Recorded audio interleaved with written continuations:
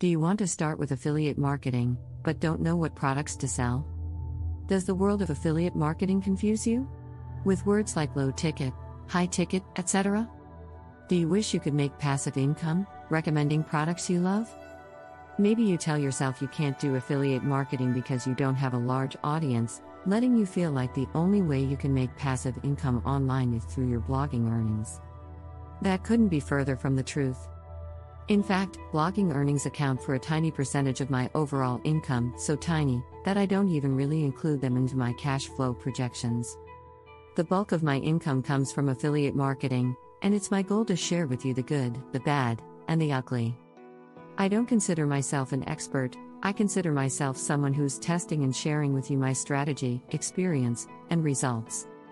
If you're wanting to get more in depth articles on affiliate marketing, check these out https colon slash slash lifewithtina.medium.com slash list slash affiliate marketing bc2f0ff76f0 for now in this article we are going to be talking about high ticket offers low ticket offers and how to have an affiliate product mix. Ready to make passive income? High ticket affiliate offers. High ticket equals high investment equals bigger commission I consider anything that is over $1,000 to be a high ticket offer. I've seen commission percentages for these offers be anywhere from 30 to 50%. In my experience, what's considered high ticket can range anywhere from online courses, group coaching, or one to one coaching programs. Remember though, what's considered high ticket to you may be pennies to someone else. You need to know that you don't need a big audience to sell high ticket offers. You just need a warm audience. I consider a warm audience to be an audience that you have an ongoing relationship with, are problem aware, and are looking for a solution to their problem. If you're consistent in providing value to your audience and you have repeat readers, then you can see that as the green light to sell to them. Heck, give yourself permission to sell rather than wait on external validation. Because the product you're selling is at a higher price point, you may need to produce more content and touch points around the product than just a simple review article. For example, when I was selling the plan by Dan Hollings, I promoted my articles to crypto communities that were looking for ways to make money in downtown markets. If you don't have a warm audience, go find it. Low ticket offers. High ticket offers will give you cash injections, low ticket offers will keep you afloat. My recommendation for promoting low ticket offers is that you want to promote products that offer recurring commissions. These work well with software platforms, you sell it once, and then you make monthly commissions off of someone's payment. I remember when I first tested out low ticket offers, I had this article set to publish over my vacation and came back seeing affiliate sales in my inbox. There were a lot of factors that helped that. For one, the article picked up a lot of traffic naturally. That won't always be the case. But I consider low ticket offers an easier sale because cost is not per se a problem. The only challenge that you will have with low ticket offers is volume.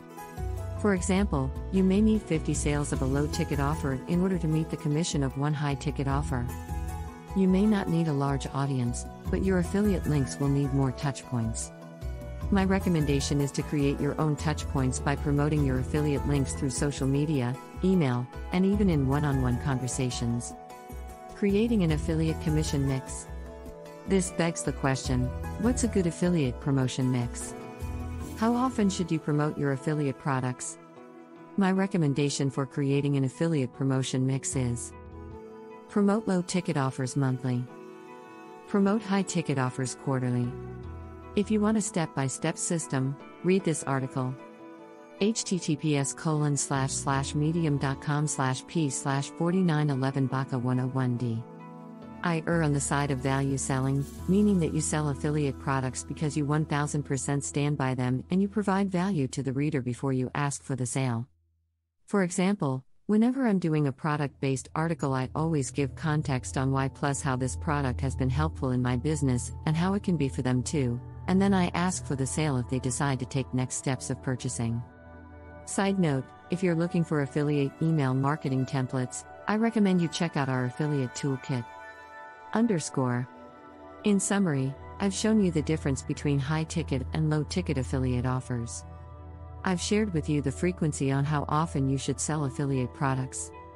Finally, I recommend purchasing Affiliate Toolkit if you're looking for a plug and play email template solution to promote affiliate products.